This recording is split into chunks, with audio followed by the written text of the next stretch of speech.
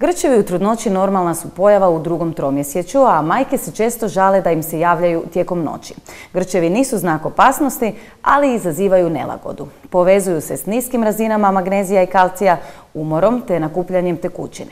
Kako ih prevenirati i liječiti, pitaćemo doktoricu Ulu Marton. Doktorici, dobro nam došli. Hvala. Evo, čuli smo da grčevi nastaju zbog premalo kalcija i magnezija u organizmu. Pa zbog čega nastaju grčevi i zbog čega je taj deficit? Trudnoća je jedno vrlo dinamično i metabolički vrlo promjenljivo stanje. Imamo zapravo razgradnju majke da bi izgradili jedno novo, sasvim novo malo biće i praktički koriste se resursi e, majke. E, najčešće se javljaju u stopalima i listovima. Jel mogu još gdje se javiti osim tu?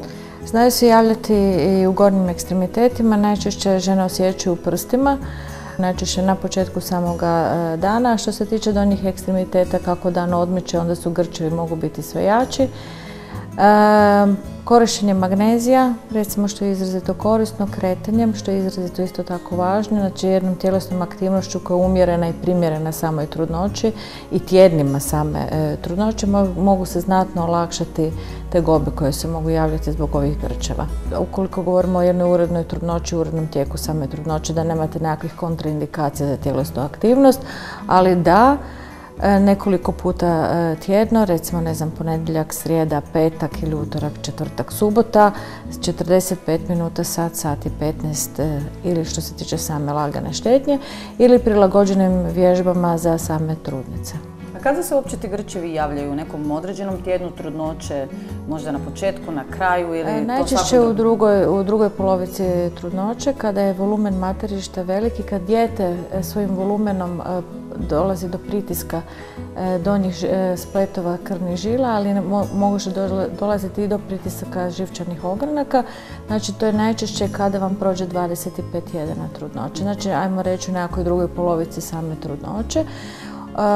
Češće se javlja kod žena koje i rade tijekom trudnoće, ako je to sjedilački način ovoga e, posla, jel, znači nekakav posao, ajmo reći kancelarijski posao, onda zbog samog dodatnog pritiska koji se javlja, za te žene bi bio jako dobar savjet da tijekom e, svog radnog vremena se češće uštanu rastegnu ili koriste adekvatnu ne samo odjeću i obuću, nego adekvatni prostor radni, recimo ne znam, pilates loptove se sjednu na samu loptu ili da imaju klupčicu za postaviti noge. E, vrlo je važno i način sam ishrane, dodatno uzimanje suplemenata. A što učiniti kad nas uhvati grč? Znači lagano nekako rastezanje, e, lagana masaža ekstremiteta gdje vas je uhvatio sam grč. I ako do tada niste uzimali suplemente, uvesti suplemente u svakodnevnu prehranu. Mene je znao hvatati najčešće tijekom sna po noći. Mhm. I to je jako, jako neugodno. Vrlo neugodno i bolno zna biti. Da.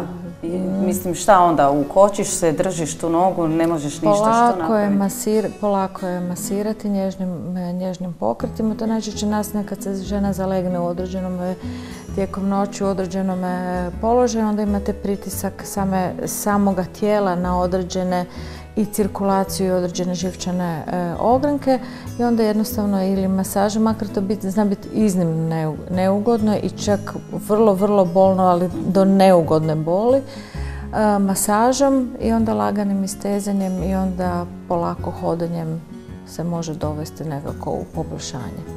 Sad spomenuli smo tu masažu kad nas mhm. već uhvati, a Znamo možda neke masaže nisu dobre u trudnoći, ali može li masaža pomoći može prevencija? Može masaža, naravno postoje ljudi koji znaju masirati trudnice. Imate posebne krevete u kojima se mogu masirati trudnice, koji imaju rupu u središnjem dijelu da trbuščić može ići e, kad žena leži po trbuške. Da, i to je preporučljivo. Evo da rezimiramo, znači za prevenciju par stvari najvažnijih da izbjegnemo grčeve adekvatna suplementacija od početka same trudnoće. Ako primijetite, ako do tada niste koristili recimo magnezi i kalci, uvesti ga definitivno. Adekvatna prehrana, znači puno voća, ako ne u cjelovitom obliku, znači recimo jabuka, onda kroz sokove, znači cijeđenjem sokovima i adekvatnom tom prehranom i tjelesna aktivnost, definitivno tjelesna aktivnost. Ako ste do tada išli na posao, ako vam nije daleko automobilom ili prevoznim sredstvom, onda hodati. najbezazlenije hodanje je odlična prevencija. Doktorice, hvala, evo pomogli smo mnogim ženama. Hvala na savjetima. Molim.